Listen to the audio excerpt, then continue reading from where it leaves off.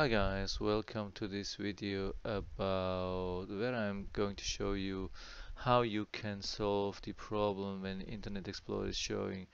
We are uh, we were unable uh, to return you to the page you were viewing. Also sometimes it shows the thing Speed up browsing by disabling add-ons, choose add-ons and so on. Okay, uh, no, yeah, actually it does nothing have to do with that. Yeah, so I'm closing that. So actually it's showing this error message and it shows this error, error, error, error. It, it, it, it's kind in a loop. So that happened to me and why it happened to me in my case, I mean, there can be different solutions. When you go to Microsoft uh, solution page, they say it can be because of an outdated Java version.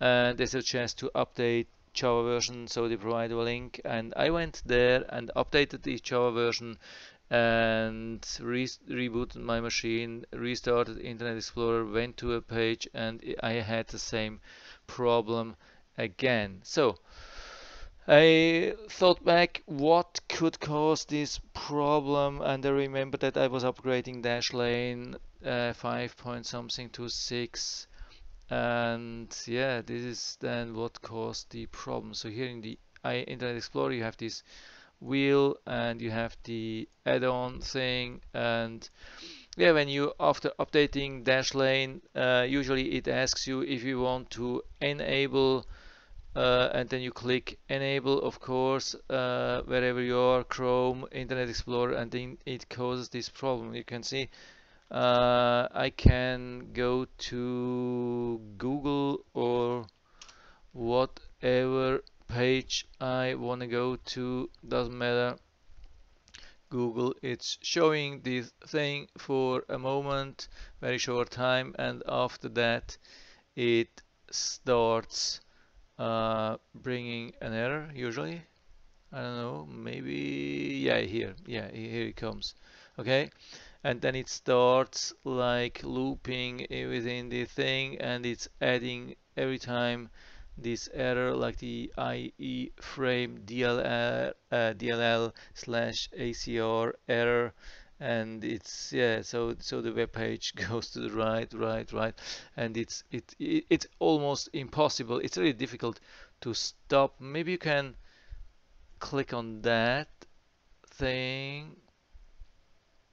Uh, doesn't help in this case so I'm just closing that and trying to pick the right moment where I can disable the plugin. Maybe I can I could disable it from the Dashlane itself? I don't think so. So you have to go to this wheel, go down, manage add-ons, and when you're in the right moment, so I was in the bad moment, so click again, click again, and at some point it will show it, and then uh, click disable, disable, okay. So now it's disabled.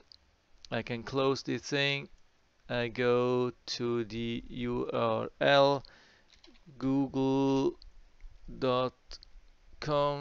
and it shows this page and no error will ever occur. It was really a problem with Dashlane.